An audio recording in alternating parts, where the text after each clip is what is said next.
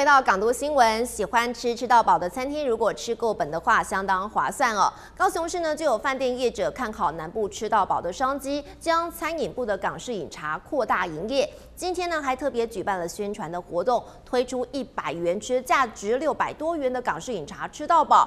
不过呢只有限量一百位，即使是平常日，也吸引许多民众前往排队，让饭店难得出现大排长龙的盛况。一大早八九点，高雄市这家饭店餐厅还没营业，门口就已经大排长龙，人潮中有男女老少，不少民众干脆席地而坐，看报纸、玩手机，打发时间。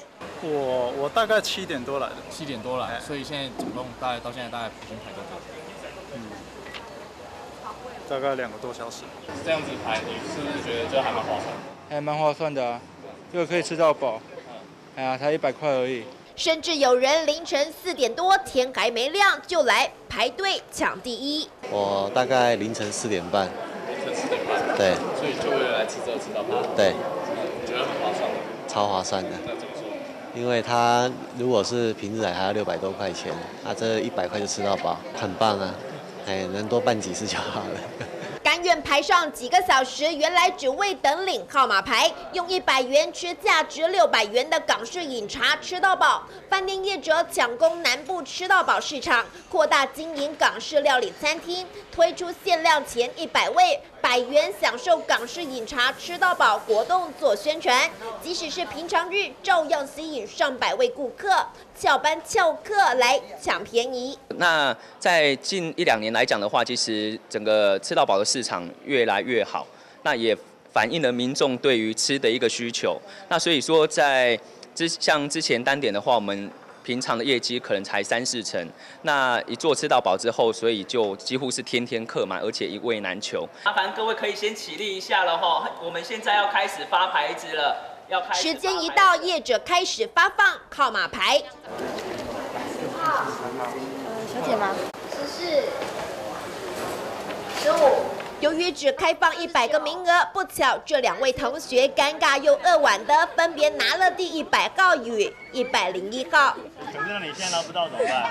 啊，一起进去就一起分担费用啊！对，一起进去吃，然后一起分担费用。要跟他一起去了吗？对啊，我们已经讲好了。还好学生纠团来，可以一起分摊费用。另外业者也结合脸书寄出打卡抵消费方案，让今天上门的狼 K 怎么吃都超值划算。港东新闻追公入瑶采访报道。高雄市议会社政委员会成员在周三的时候前往美浓客家文物馆考察，除了一窥客家早期生活的风貌，也期盼能够加强客家文物馆的经营，进而带动当地的观光，让更多人认识客家文化。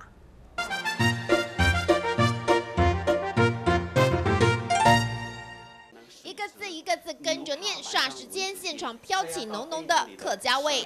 日头落山，日头落山，东边望，牛马呆子，牛马呆子，捏鼻糖，捏鼻糖。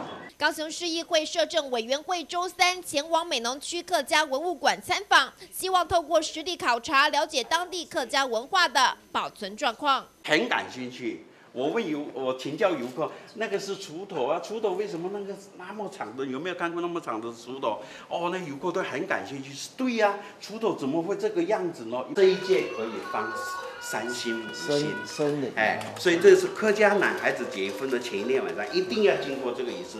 像我在四十几年前结婚就有经过这个仪式。我娶你是有拜天公把你娶进来的。这个是名正哎，太太也说你是有拜天公把我娶进来的，是名正言顺，不能随便跟我离婚。所以我们你看台湾的离婚，种种特殊的时空背景造就了独特的客家文化，而透过钟礼格的诗词，也能够领略客家的文学精髓。金属的下字哈，哪里有母牛不爱惜它的小牛呢？后半重点在这里，哪里有？女孩子不会留恋她的情郎呢，它是一首山歌。你想想看，所以钟理和先生的客家乡土文学那么有名，有他的道理。此外，馆内也保留了各式各样的工具器皿，让人能够一窥客家早期农业生活的原貌。啊，美容区好，我是觉得说从老师的解说哈，也让我们都知道，也不一定说要走走遍了，来到这边所有啊美客家的一些文物，说过去使用的，那一直到现在。啊，不管是山林也好，每每一棵树木跟每一个动物，我都觉得，呃，对我来讲都是很惊叹呐。先是合并以后，这样的在我们组委的一个整合之下，其实可以看得到，如果我远从别的地方进来，来到我们美农以后，其实来这边参观，其实可以一探我们整个美农的一个，就是客家人的一个文化精神哦，还有他们的生活习惯哦。那我觉得这样的一个东西，其实还蛮精彩的。不只对客家文化有了更深一层的了解，议员也期盼能够今年推动文化馆的模式，带动观光，吸引更多的外来客到美浓来体验丰富客家文化。港澳新闻朱宇红采访报道。最近在高雄有哪些值得去参观的活动去处呢？带你来参考活动看板。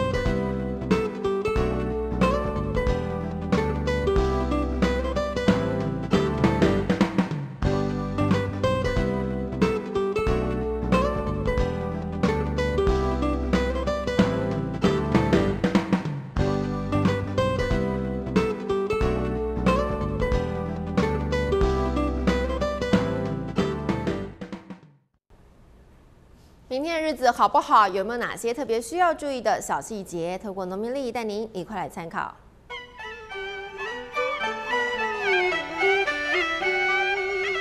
明天是国历十月二十一号，农历的九月二十五号，适合祭祀沐浴，不适合嫁娶安床。属兔四十九岁的朋友煞东方。以上资讯提供给您做参考。明天的天气又是如何呢？透过高雄都会气象台来一块关心。